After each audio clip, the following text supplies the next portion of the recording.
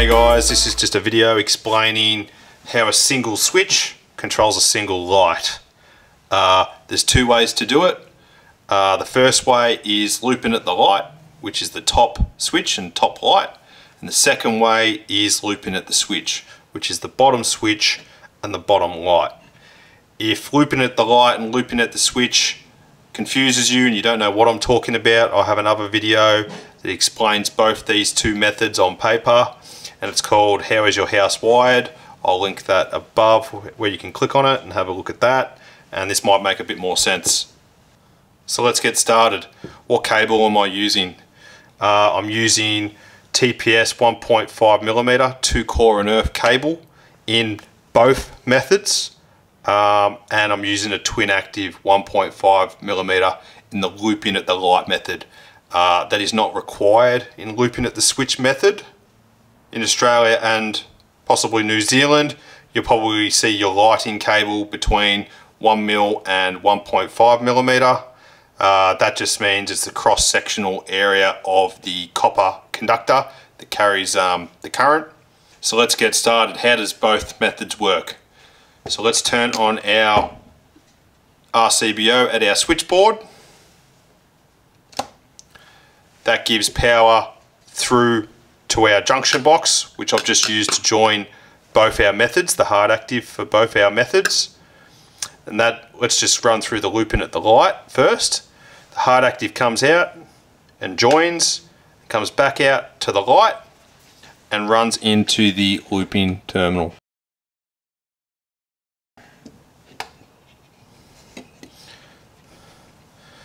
Then out of the looping terminal, it is joined with the red of the twin active down to our common.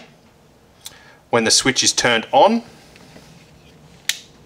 the light turns on because the switch closes between common and 1 and then the power flows back through the white active conductor to the terminal on the light. The white active and the black neutral, it doesn't matter which way they go polarity wise on a batten holder but on a surface socket or something like that it will. So just follow the color coding and the earth is labeled there. And the hard actives just join in the looping terminal. That's just a dead terminal which pretty much acts as a connector. The looping at the switch method is very similar. Um, it's used a lot more these days from probably from the 90s onwards. Um, looping at the light method is probably from the 90s um, and back. Um, both methods are still seen today um, in renovations. Um, at the front of the house, an old house might have looping at the light and then they've decided to renovate and they've just picked off a hard active from the light in the front of the house and ran it to the back of the house to their first switch in the new area and then they've just continued with looping at the switch method at the back of the house.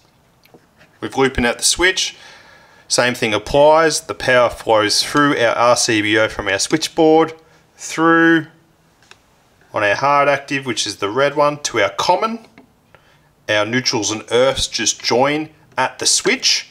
The neutrals will be either in a connector or in the looping terminal, which is just a dead terminal, which acts as a connector.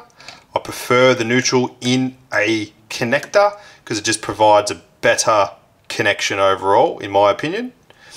Uh, the earths will be either in a connector or soldered, taped back on the TPS.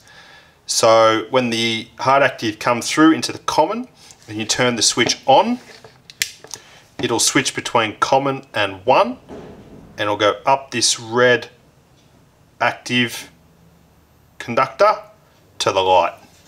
And these are the connections here.